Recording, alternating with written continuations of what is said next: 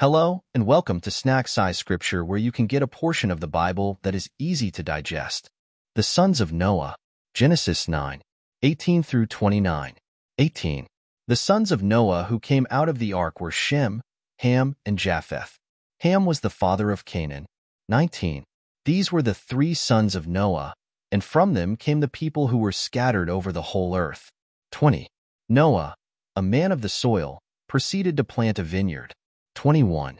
When he drank some of its wine, he became drunk and lay uncovered inside his tent. 22. Ham, the father of Canaan, saw his father naked and told his two brothers outside. 23. But Shem and Japheth took a garment and laid it across their shoulders. Then they walked in backward and covered their father's naked body.